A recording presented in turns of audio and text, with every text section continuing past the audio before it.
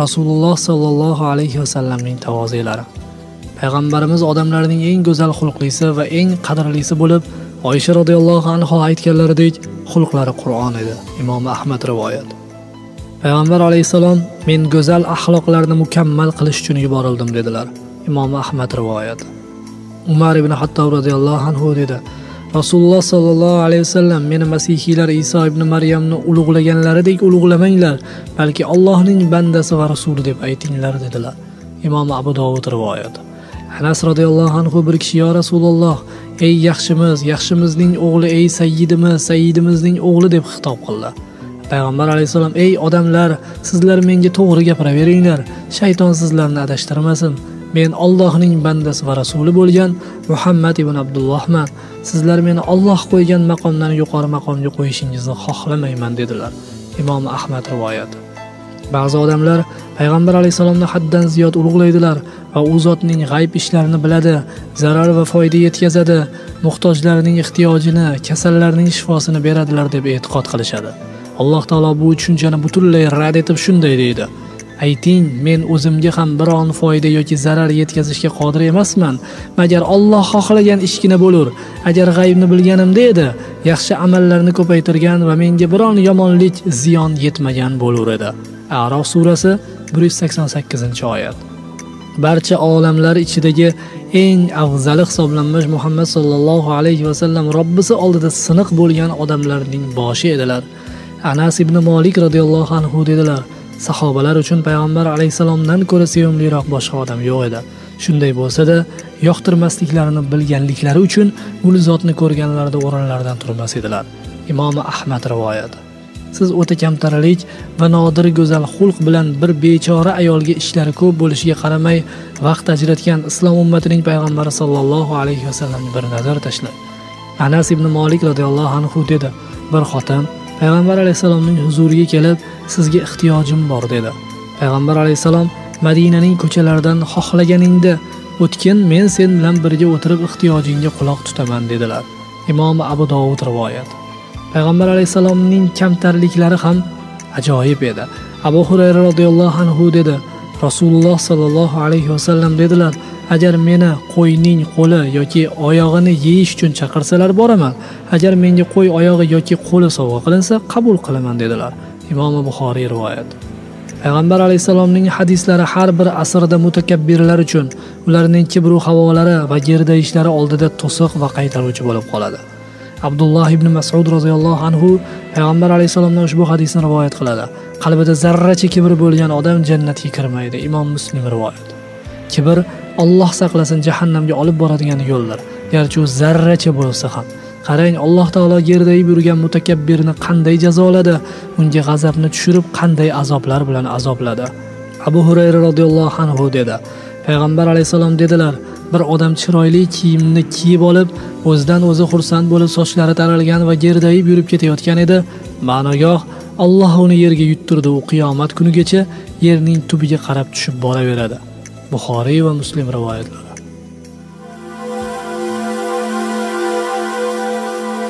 Payg'ambarimiz o'gitlari.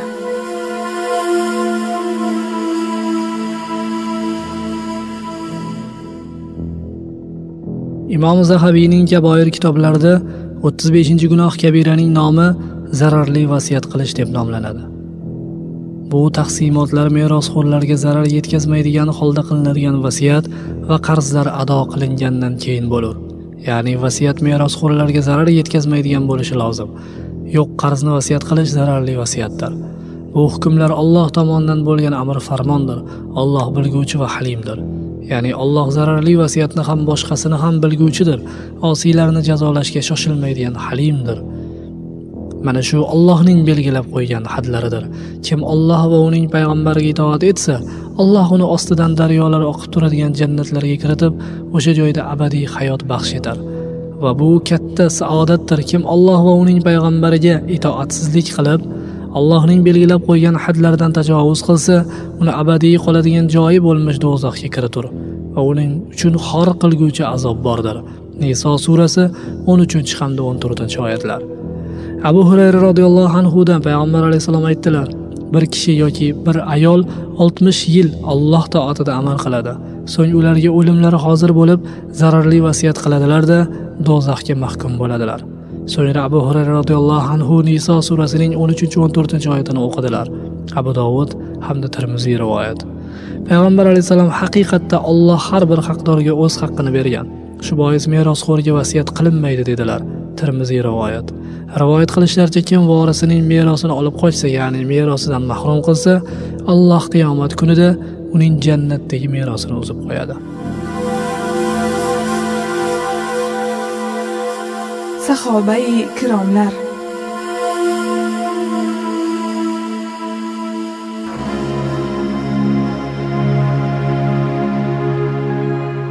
Ushbu sahifamiz orqali siz azizlarga imom zahabiyning siyari alamin nubula asaridan olingan ma'lumotlarni keltirib o'tamiz. Bashariyat uchun rahmat bo'lgan rasululloh sollallohu alayhi vasallamning sevimli ayollaridan biri hadicha binti huvaylid haqida bilganlarimiz u qadar ko'p emas. Hadicha roziyallohu anhu xususida bilganlarimizni aytamizki yosh avlod mo'minlar onalari bilan yaqindan tanishish imkoniyatiga ega bo'lishadi. Hadicha binti huvaylid ibn asad ibn abdul uzza ibn qusay ibn kilab al asadiya mo'minlarning onasi ummul qosim payg'ambar alayhissalom farzandlarining onasi. Payg'ambarimizni eng birinchi bo'lib tasdiqlagan ayol. Hadicha onamiz iymon keltirgan paytda hali hech kim rasululloh sollallohu alayhi vasallamni tasdiqlagani yo'q edi. Nabiy alayhissalomga vahiy tushganida hadicha onamiz u zotni amakisi varaqi ibn navfal huzuriga boshlab borgan. Bu jannatiy ayolning fazilatlari ta'rifga sig'maydi. Hadicha roziyallohu anho komila oqila fazila karima jalila iymonli iboli hamda viqorli ayol edilar. Rasululloh sollallohu alayhi vasallam uni hamisha yaxshi nom bilan eslardilar. Payg'ambar alayhissalom hadicha roziyallohu anhoni barcha ayollardan ustun qo'yardilar. Uni shu qadar ko'p eslaganlaridan oysha onamiz roziyallohu anhoning rashki kelardi men hech qaysi ayolga hadichaga rashk qilganimdek rashk etmaganman deydi oysha roziyallohu anho onamiz. Chunki nabiy alayhissalom uni ko'p eslardilar. Buxoriy hamda muslim rivoyat. Hadicha roziyallohu anho rasululloh sollallohu alayhi vasallamning birinchi ayoli bo'lishdek sharafga noil bo'lgan. Payg'ambar alayhissalomdan farzandlar ko'rgan nabiy alayhissalom hadicha onamiz tirikligida boshqa xotin olmaganlar cho'ri ham tutmaganlar. Payg'ambar alayhissalom hadicha roziyallohu anho vafotidan mahzun bo'ldilar. Darhaqiqat bu ayol haqiqiy umr yo'ldoshi edi. Uning mol davlatidan payg'ambar alayhissalom bir necha bora foydalanganlar. Alloh taolo amri bilan nabiy alayhissalom hadicha onamizga uning uchun jannatda bir uy bino qilingani haqida xushxabar berdilar. Bu uy qamishdan bo'lib unga shovqin suron g'am tashvish degan narsa aslo yaqin yo'lamaydi. Jubayr ibn mutimdan hadicha roziyallohu anhoni amakisi amr ibn asad nabiy alayhissalomga nikohlab bergan. Uning ya'ni hadichaning otasi fijar urushidan ilgariroq vafot etgan edi. Voqidiy yuqoridagi rivoyatni tasdiqlaydi. Ushbu masalada ashoblarimiz ya'ni muarrih olimlar bil ittifoq bir xil gapirganlar deydi zubayr ibn bakkor aytadi hadicha roziyallohu anhoni johiliyatda tohira deb chaqirishardi. Onasining ismi fotima binti zoida al omiriya edi. Hadicha roziyallohu anhu payg'ambarimizga tegishidan oldin ikki marta turmush qurgan. Birinchi erining ismi abu xoli ibn zurora at tamimiy edi. Undan keyin atiq ibn obid ibn abdulloh ibn umar ibn mahzum nikohida yurgan. Rasululloh sollallohu alayhi vasallam yigirma besh yoshlarida hadicha roziyallohu anho bilan bir yostiqqa bosh qo'ydilar. O'shanda onamizning yoshlari qirq yoshda edi. Oysha roziyallohu anhodan hadicha roziyallohu anho namoz farz qilinishidan oldin vafot etgan. Yana bir rivoyat aytilishicha hadisha roziyallohu anhu ramazonda 65 yoshida vafot etgan va hajunga dafn etilgan. Hajun makka yuqorisida joylashgan tog' makka ahli marhumlarni o'sha yerga dafn qilardi. Marvon ibn muoviya voil ibn davuddan abdulloh al bahiydan rivoyat qiladi. Oysha roziyallohu anhu onamiz aytadilar payg'ambar alayhissalom hadichani esga olgan vaqtlarida uni maqtash va unga istig'for so'rashdan charchamasdilar. Bir kuni rasululloh sollallohu alayhi vasallam yana hadijani eslab qoldilar. Mening rashkim qo'zg'oldi. Alloh taolo o'sha katta yoshligining o'rniga sizga meni berdi deb yubordim. Shunday dedimu payg'ambar alayhissalomning qattiq darhaqiqat g'azab bo'lganliklarini ko'rib o'zimga keldim. Ey xudoyim deya yolvordim ichimda. Agar rasuling g'azabini ketkazsang hech qachon uni ya'ni hadichani yomonlamayman. Payg'ambar alayhissalom mening munosabatimni ko'rib dedilar. Nega unday deysan? Allohga qasamki hadicha odamlar meni yolg'onchiga chiqargan paytda menga ishondi.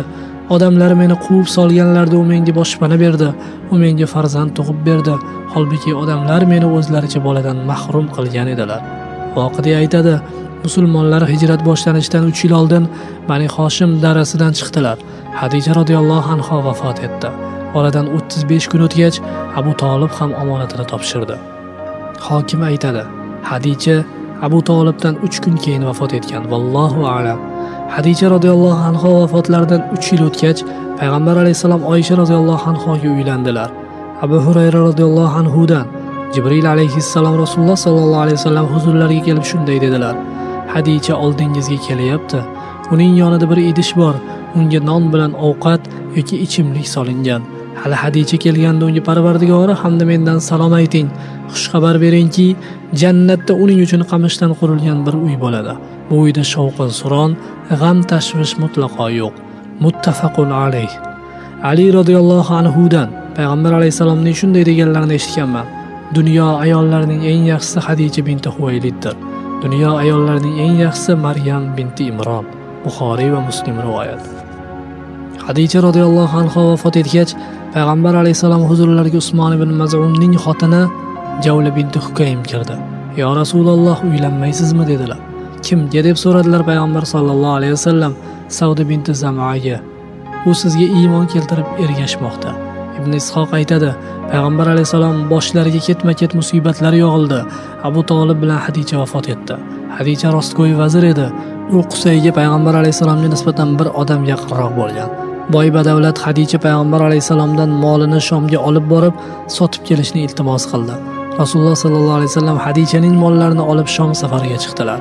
Safarda payg'ambar alayhissalomga uning ya'ni hadichaning quli maysara hamrohlik qildi. Karvon qaytib kelgach hadicha rasululloh sollallohu alayhi vasallam olib kelgan mollarni sotib ziyoda foydalar ko'rdi. Hadicha roziyallohu anho payg'ambar alayhissalomga turmushga chiqishga rag'bat bildirdi. Rasululloh sollallohu alayhi vasallam uning rag'batini qabul qildilar. Nabiy alayhissalom uylanayotganliklarida hadicha roziyallohu anhoga yigirmata yosh tuya berganlar. Hadicha onamizning payg'ambar alayhissalomdan ko'rgan farzandlari qosim toyib tohir uchchala o'g'il ham go'dakligida o'lib ketgan. Ruqiya zaynab ummi kulsum fotima. Oysha roziyallohu anhu aytadi vahiyning boshlanishi solih yaxshi tushlar tarzida kechgan. Oysha roziyallohu anhu rasululloh sollallohu alayhi vasallamning jibrilni ko'rganlarini va dastlabki oyatlarining tushirilishi haqida gapirdi.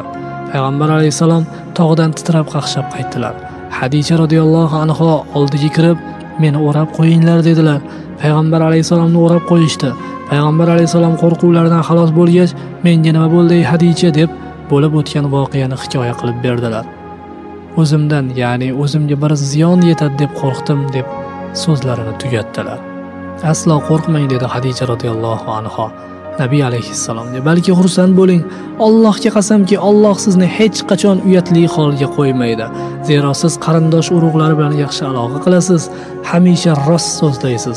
Boshiga musibat tushganlarga yordam berasiz. Og'irlikni o'z ustingizga olasiz. Hadicha roziyallohu anhu payg'ambar sollallohu alayhi vasallamni amakisi varaqa ibn navfal huzuriga boshlab bordi. Varaqa johiliyatda nasroniy dinini qabul qilgan edi. U arabiy xat bilan injildan olloh yozilishini iroda qilgan so'zlarni yozardi. Keksayib ko'r bo'lib qolgan varaqaga hadicha onamiz shunday dedi. Birodaringiz o'g'lining so'zlariga quloq tuting. Ey birodarimning o'g'li dedi varaqa ibn navfal nimalarni ko'ryapsan? Payg'ambar alayhissalom unga bo'lib o'tgan voqeani so'zlab berdilar. Bu musoga tushirilgan nomus ya'ni jibril dedi varaqa. Buxoriy rivoyat. Shayx azuddin ibn asr aytadi hadichaning olloh qullari ichida eng birinchi bo'lib islomni qabul qilganligi musulmonlar ijmosi ila sobitdir. Zuhriy qatoda muso ibn uqba ibn ishoq voqidiy va Said ibn yahyolar alloh hamda rasuliga eng birinchi iymon keltirganlar hadicha abu bakr va ali deyishgan. Imom abdul bar aytadi bir qancha rivoyatlarda payg'ambar alayhissalomning quyidagi so'zlari rivoyat qilingan. Ey hadicha jibril senga salom aytdi.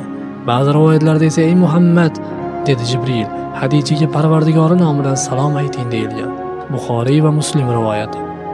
Hammod ibn salama humayddan abdulloh ibn usayd umayrdan rivoyat qiladi. Payg'ambar alayhissalom hadicha onamizni eslab siqilardilar bu holat to oyshani nikohlariga olganlariga qadar davom etdi.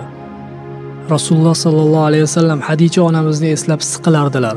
Bu holat to oyshani nikohlariga olgunlariga qadar davom etdi. Sobit anas roziyallohu anhudan rivoyat qiladi.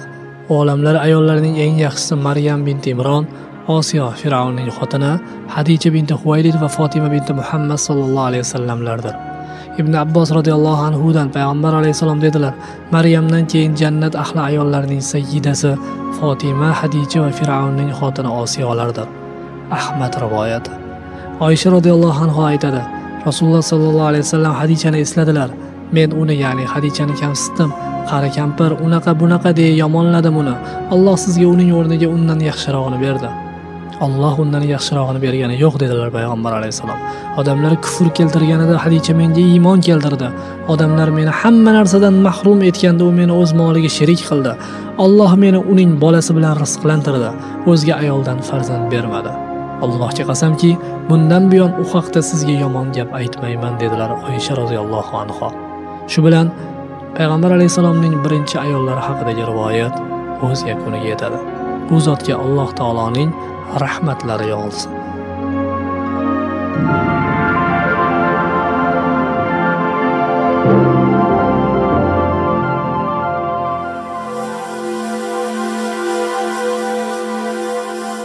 Bugungi kun.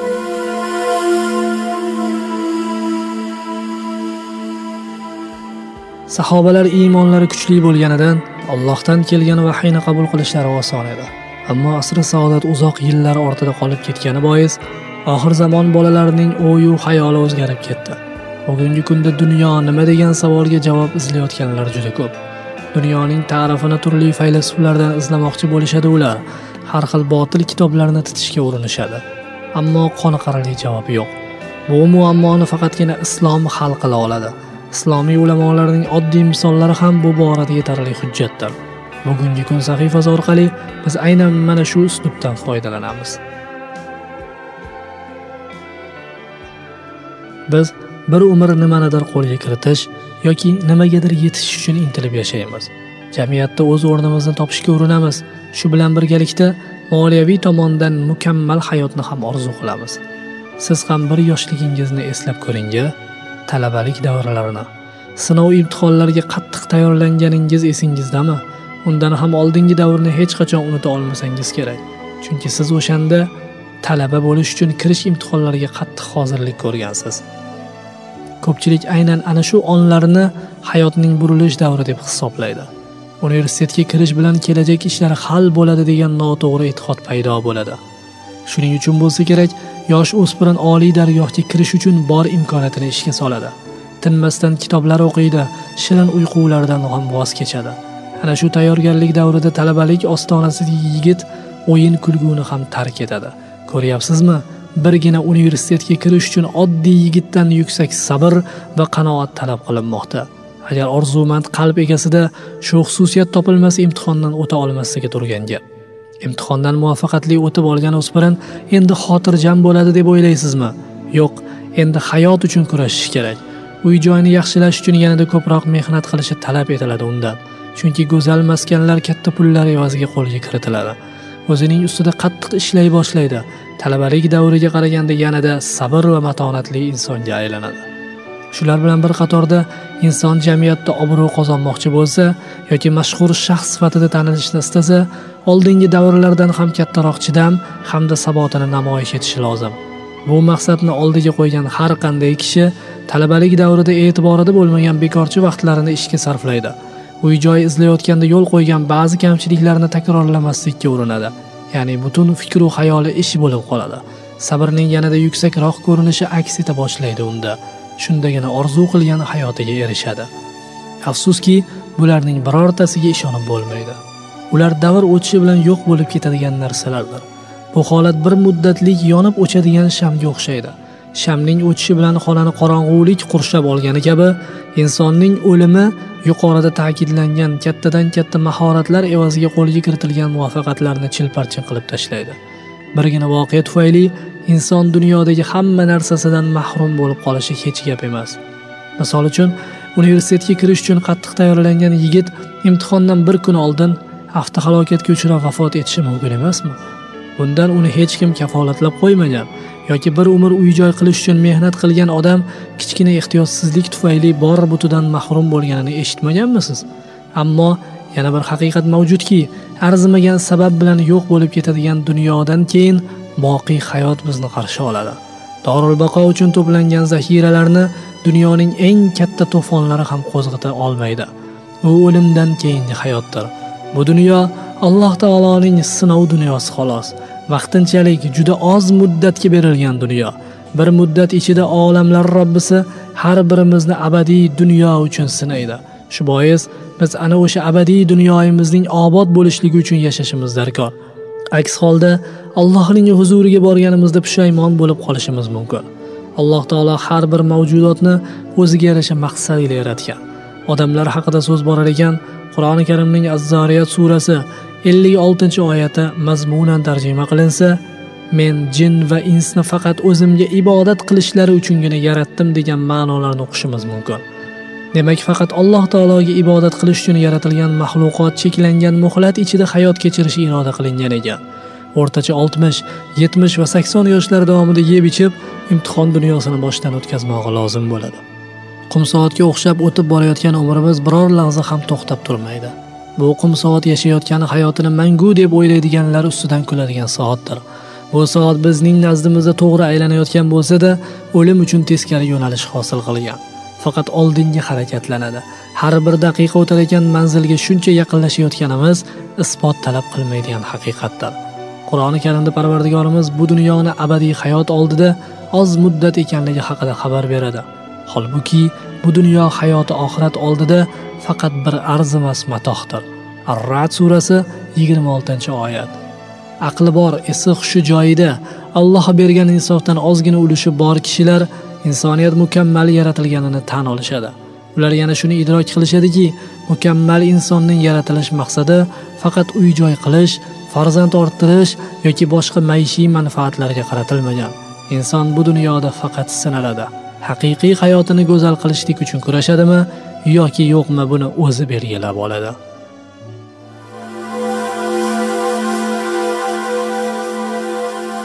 Hikmatli so'zlar.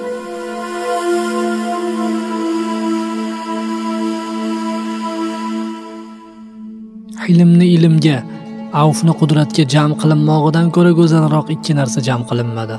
Umar ibn abdulaziz ey insonlar dunyo imtihon diyori oxirat qarorgohidir. O'targohingizdan qarorgohingiz uchun foydalaning. Sizlar dunyoda turibsiz biroq undan boshqasi uchun yaratilgansiz. Riyoshi. Ulug' kishi to'rt narsadan or qilmaydi. O'tirgan joyidan otasi uchun turmoqdan mehmoniga xizmat qilmoqdan yuzta quli bo'lsa ham otiga o'zi qaramoqdan ilmidan olish uchun olimga xizmat qilmoqdan. Abdulloh ibn muborak shunday hikoya qiladi. Sufyoni savriyga ey abu abdulloh abu hanifa g'iybat qilmoqdan naqadar uzoq-a biron dushmanini g'iybat qilganini eshitmadim dedim. Javob shunday bo'ldi. Abu hanifa yaxshiliklar qilib so'ng uni ketkazib yuboradigan ishni qilishdan yuqorida turadi deb javob berdi. Malol va dangasalikdan o'zingni uzoq tut. Zero bu ikkisi barcha yomonlikning kalitidir. Chunki dangasa bo'lsang haqni ado qilmaysan.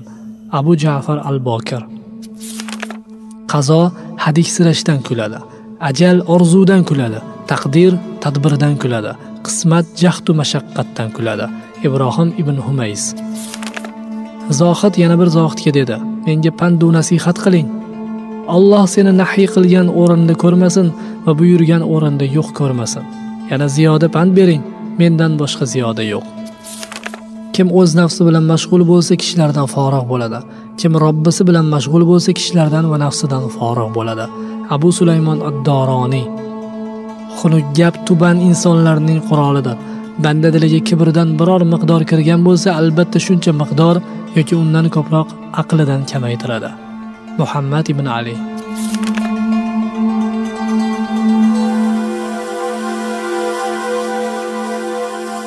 Hissiyot olami.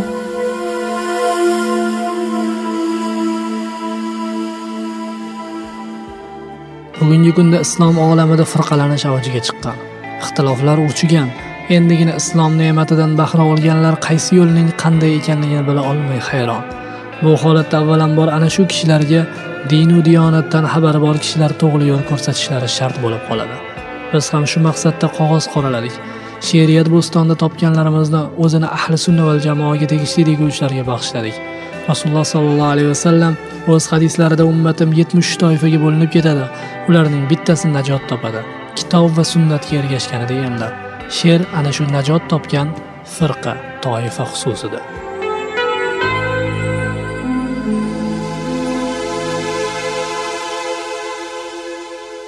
firqalarning ichida salomat qolmoqlikni eng katta boylik ne'mat va baxt saodat biling olimlar mo'minlarga ommatan xitob qilmish avval sunnatni topib so'ngra jamoat bo'ling. Dinning asosi qolib ishlar ketdi qalashib hatto avom tark etgan masalaga talashib jamoatga aylanib so'ng ketdilar adashib avval sunnatni topib so'ngra jamoat bo'ling. Payg'ambar vorislari tark etiblar saroylar shul sirotni eng nozik ko'ngilda ham avaylar. Umar usmon va ali dunyoga xitob aylar. Avval sunnatni topib so'ngra jamoat bo'ling.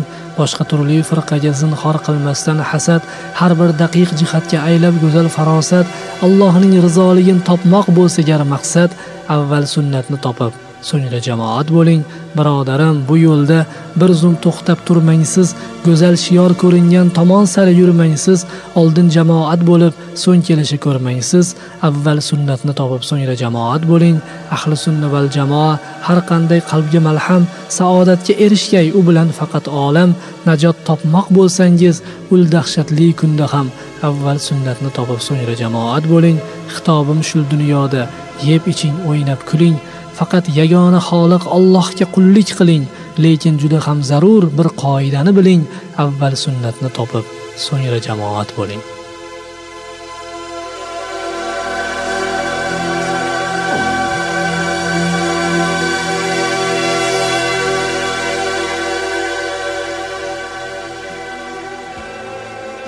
Biz bugun dasturimizni toshkent islom instituti tomonidan sotuvga chiqarilgan.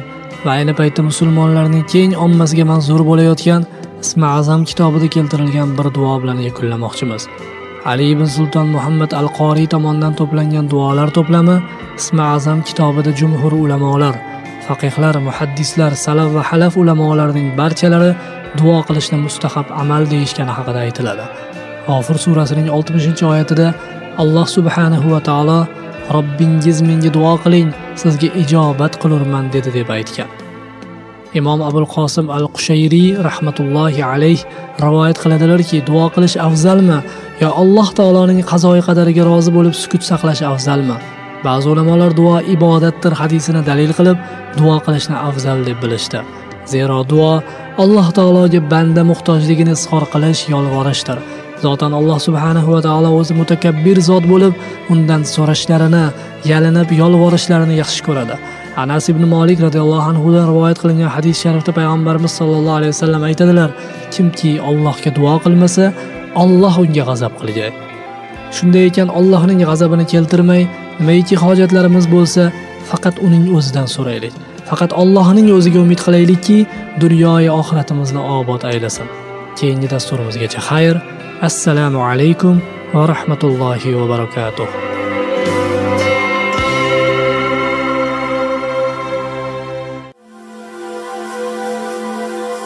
Hissiyot olami.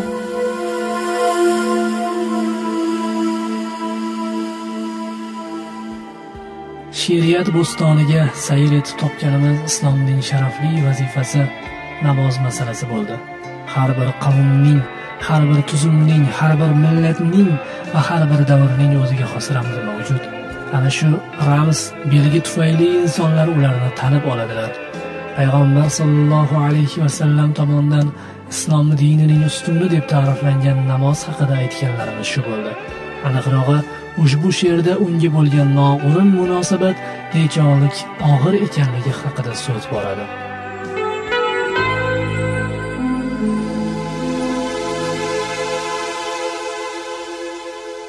Mo'minlikka davo bo'lmas benamozlik bir kunga ham ravo bo'lmas benamozlik bu dunyoku besh mahaldek o'tar ketar lek qabrda havo bo'lmas benamozlik jazolarga davo bo'lmas benamozlik qur'onda ham uning misli kelgan qavm bu g'iybatla o'z do'sti go'shtini yegan qavm bu rasululloh bizdan emas degan qavm bu peshonasini qoraytirmish benamozlik qadrini ham toraytirmish benamozlik bu gunohki ko'ngillarni mast qilguvchi inson degan sharaflida past qilguvchi boshga balo kunni haqqa rost qilguvchi gunohlarning kabirasi benamozlik asli shirkning nabirasi benamozlik joynamozlar sarpolariga joylanadi ayting qo'llar qachon haqqa boylanadi nahot inson do'zax sari shaylanadi shayton tuhfa etgan tug'yon benamozlik yaratganga eng zo'r isyon benamozlik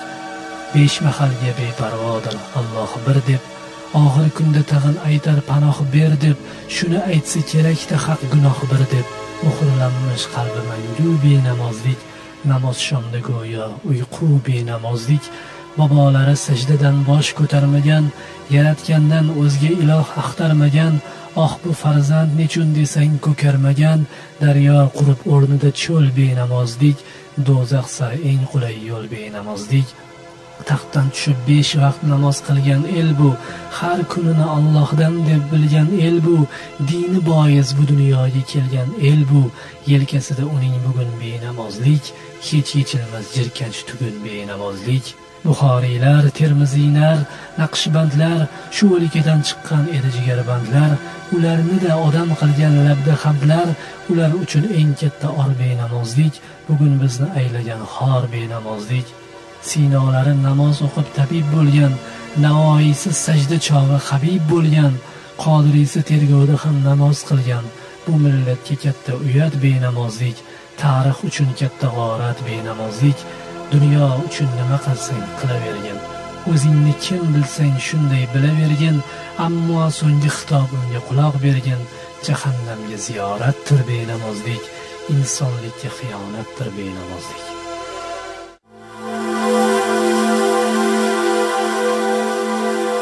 tavhidning haqiqati.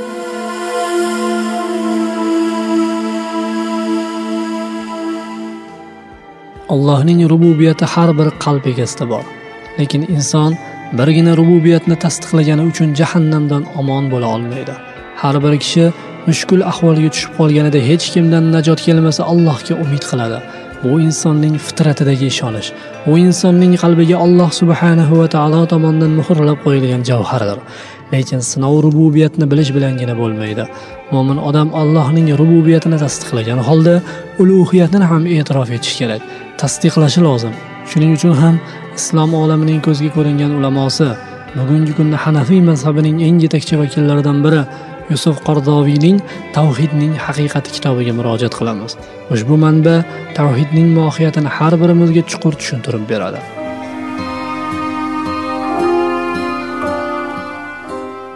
Allohga iymon keltirmoq butun ishonchlarining asosi hisoblanadi. Hech shubhasiz alloh taolo ibodatga loyiqdir.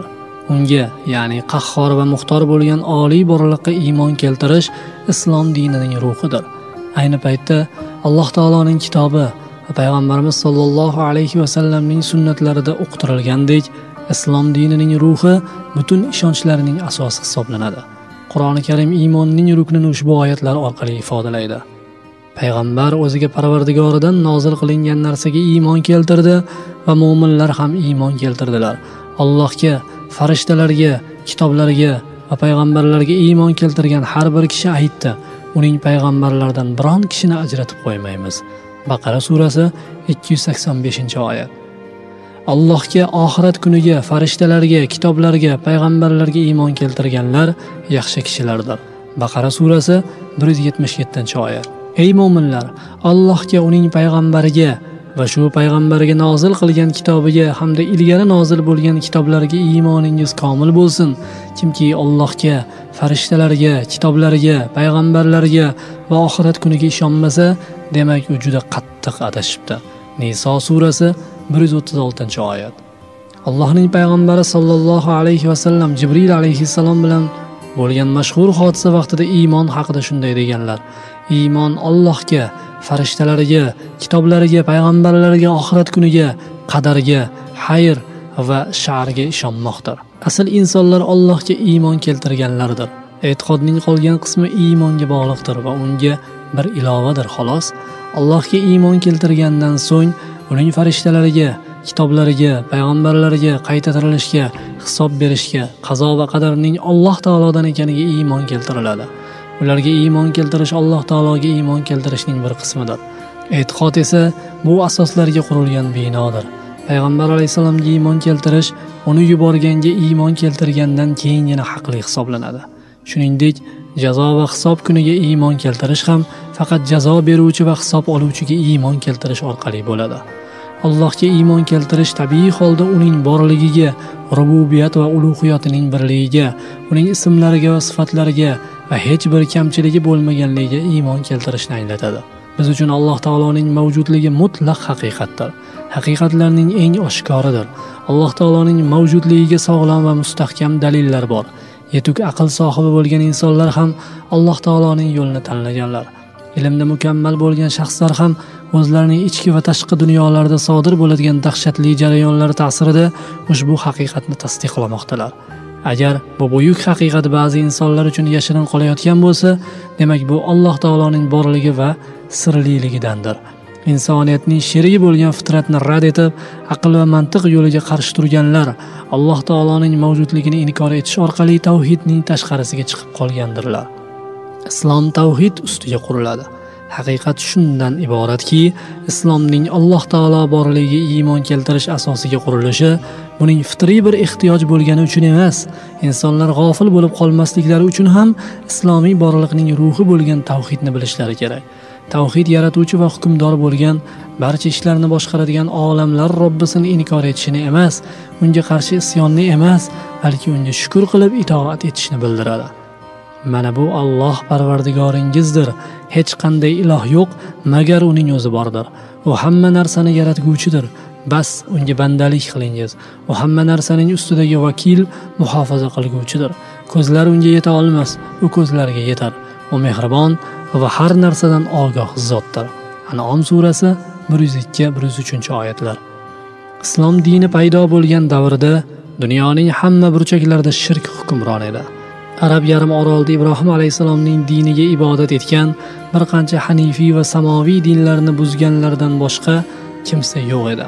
Arab jamiyatlarining johiliyat davrida bo'yinlariga qadar butparastlikka botganini aytishning o'zi yetarlidir bu shu darajaga yetgan ediki alloh taologa ibodat etish uchun ibrohim alayhissalom qurgan kabaning ichida va uning atrofida uch yuz oltmish dona but bor edi.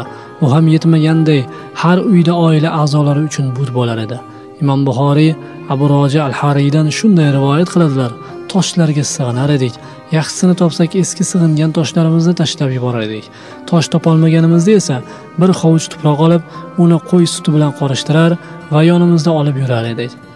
Bundan tashqari ba'zan yo'lga chiqqanlarida bir hovuch xurmoni tangridek yonlarida olib yurishar edi. Oziq ovqatlari tugaganda esa yeydigan narsa topa olmay ularni yeyishar edi. Bu haqda qur'onda ushbu oyat bordir. Aniqki sizlar ollohni qo'yib iltijo qilayotgan butlar agar barchalari birlashganlarida ham bir chivin yarata olmaslar agar chivin ulardan biron narsani tortib olsa uni o'sha chivindan ham qutqarib ola bilmaslar. Haj surasi yetmish uchinchi oyat. Melodiy to'rtinchi asrda hindistonda butparastlik shu qadar rivojlangan ediki bularning uch yuz oltmish million tangrisi bor edi. Samoviy dinlar qatoriga butparastlik kirib ularning safini va tozaligini buzgan edi. Yahudiylar uzayr allohning o'g'li dedilar.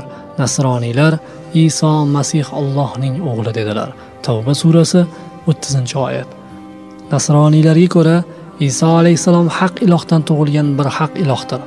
Ba'zi jamiyatlarda yoyilgan shirk turlaridan biri ham allohdan boshqa ilohga yoki alloh taoloning o'g'il qizlari bor deb ularga ibodat qilishdir. Eski hindlar krishna va budda haqida shunday tasavvurda edilar arablar ham farishtalarni allohning qizlari deb hisoblar edilar. Bu haqda qur'oni karimda shunday deyilgan. Ular ya'ni mushriklar rahmonning farishtalardan bolasi bor dedilar. U zot mushriklarning badgumonlaridan mutlaqo pokdir. Yo'q farishtalar aslo allohning bolalari emas balki ulug' bandalaridir. Farishtalar u zotdan ilgari biron so'z aytmaydilar. Ya'ni olloh buyurmagan biror ishni qilmaydilar. Ular Allohning amri farmoni bilangina amal qilurlar. Anbiyo surasi yigirma oltinchi oyat. Shuning uchun ham islom allohning birligini ilm va amallar bilan isbotlab shirkka qarshi e'tiqod kuchi bilan mujodala qilgan edi. Tangrimiz yagona tangridir. U mehribon va rahmli tangridan o'zga hech qanday tangri yo'qdir. Baqara surasi bir yuz oltmish uchinchi oyat. Shaxsning Allohning birligiga shahodat berishi. Fitriy aqli va tarixiy dalillar ilohning yolg'iz ekanligini isbotlamoqda. Inson qaysi tarafga bosh urmasin hayotning oliy bir kuch tarafidan boshqarilishini ko'radi. O'z istagi bilan yoki qo'rqinch bilan unga sig'ina boshlaydi. Xususan inson gunohga botib og'ir ahvolda qolganda va hech kim unga yordam qo'lini uzatmaganida u ilohiy kuchga ehtiyoj seza boshlaydi. Inson vahima jaholat va shunga o'xshash muhitdan qutulib o'zligini anglaydi. Jonsiz soxta tangrilardan uzoqlashib ixlos bilan robbisiga sig'inadi. Bu dengizda cho'kayotgan kema yo'lovchilarining ahvolini eslatadi. To sizlar kemalarda bo'lgan vaqtlaringizda va u kemalar xush yel bilan ularni ya'ni sizlarni olib ketayotganlarida va ular bu bilan shoda hurram bo'lganlarida bir qattiq shamol kelur hamda ularning ustiga har tarafdan to'lqin kelib o'zlarining girdobda qolganlarini bilganlarida qasamki agar mana shu balodan bizga najot bersang albatta shukur qilguvchilardan bo'lurmiz deb chin ixlos bilan allohga iltijo qilurlar. Yunus surasi yigirma ikkinchi oyat. Bu misolni allohning borligiga bir dalil sifatida keltirdik va ayni zamonda uning birligiga ham dalildir. Inson mavhumliklar ichida yolg'iz qolganda butga sig'inmaydi. Aksincha o'zining va barchaning robbisi bo'lgan olloh oldida tiz cho'kadi.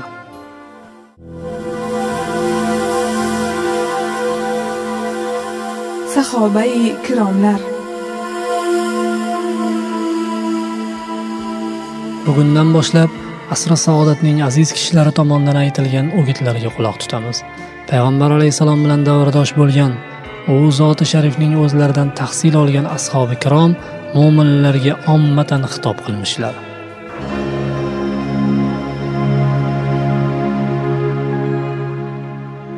Abu bakr siddiqning o'gitlari. Men ham siz kabi bir odamman. Bilmadim balki rasululloh sollallohu alayhi vasallam bajara olgan xizmatni menga ham taklif qilarsiz. Vaholanki alloh taolo muhammad alayhissalomni butun olamlardan afzal qildi. Va uni balo ofatlardan asradi.